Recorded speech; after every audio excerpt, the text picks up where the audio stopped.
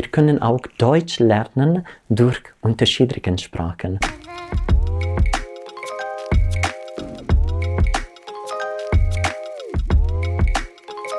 Das Fachzentrum Mehrsprachigkeit wurde gegründet mit der Absicht, Mehrsprachigkeit, Sichtbarkeit und mehr Wertschätzung gesamtgesellschaftlich zu bringen. Wir sind da tatsächlich, um die Familien zu begleiten mhm. mit, ihren, ähm, mit ihren Fragen. Mhm. Wie mache ich tatsächlich, um meine Kinder meine Sprache weiterzugeben? Mhm.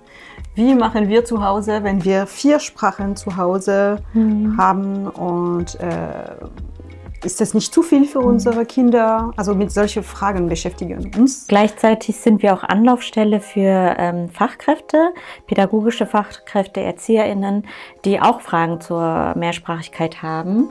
Denn ähm, nicht nur im Raum Frankfurt, deutschlandweit ist es einfach eine Realität, dass äh, Mehrsprachigkeit in den ähm, in den unterschiedlichen Zuhausen äh, vorhanden ist. Viele kommen halt mit Fragen äh, zum Thema Mehrsprachigkeit. Wie kann ich in meine Einrichtung die Mehrsprachigkeit der Kinder mit einbeziehen? Was kann ich Eltern raten, wenn sie ihre Kinder mehrsprachig erziehen?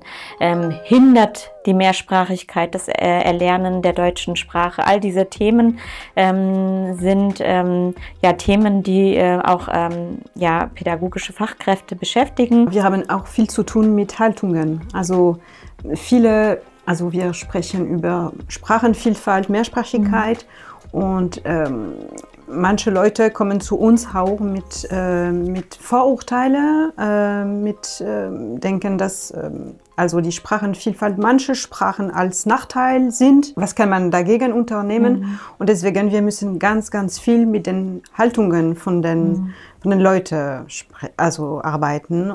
Für mich als Bundesgeschäftsführerin ist das Fachzentrum Mehrsprachigkeit ein ganz besonderes Projekt, weil wir das jetzt eben schon seit drei Jahren haben und sich das wirklich ähm, hier etabliert hat, also sowohl im Stadtraum Frankfurt als eben auch bundesweit.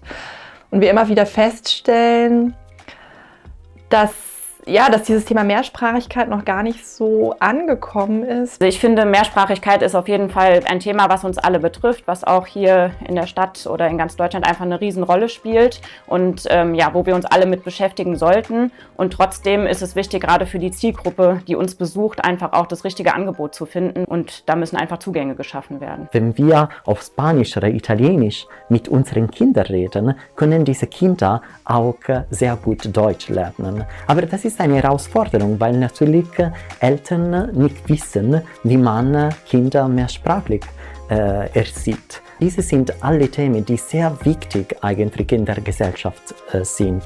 Es geht nicht nur um die Forderung der Mehrsprachlichkeit, es geht um die Forderung der Mehrsprachlichkeit in unterschiedlichen Gebieten.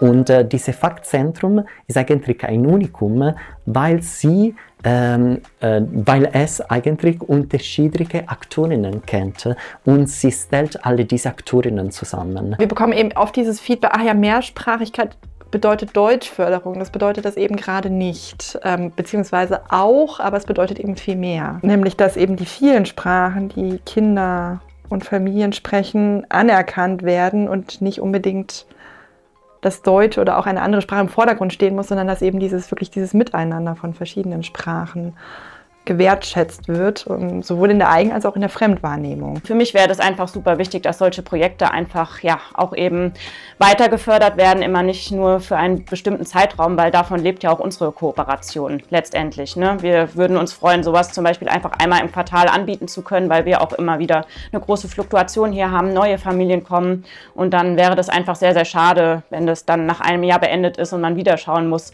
wo finde ich ein ähnliches Projekt oder wie kann ich eben wieder jemanden jemanden finden, der uns hier im Bereich Mehrsprachigkeit unterstützt. Deswegen wäre das für uns sehr, sehr wichtig, wenn das einfach eine längere Laufzeit hätte, um da einfach auch länger in Kooperation zu bleiben.